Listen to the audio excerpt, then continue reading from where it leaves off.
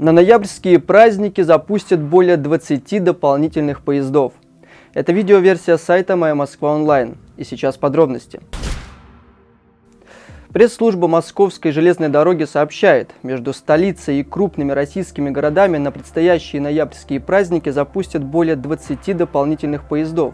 Уточняется, что составы свяжут Москву с Новозыбковым, Брянском, Смоленском, Белгородом, Казанью, Кировом, Львовом, Пензой, Саранском, Чебоксарами, Санкт-Петербургом и со Старым Осколом.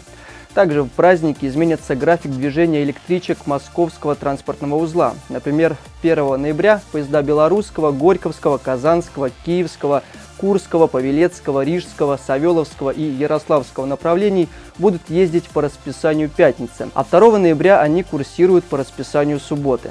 Билеты на дополнительные поезда можно купить в кассах и на сайте ОАО РЖД.